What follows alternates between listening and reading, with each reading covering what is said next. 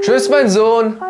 Tschüss. Hey, willst du deinem Vater keine letzte Umarmung geben? Papa, hör auf. Was ist daran so schlimm, deinem Vater eine Umarmung zu geben? Wir sind vor der Schule. Hier sind meine Freunde. Und du bist peinlich. Du bist peinlich. Du bist peinlich. Du bist peinlich. Ich bin also peinlich. Ja.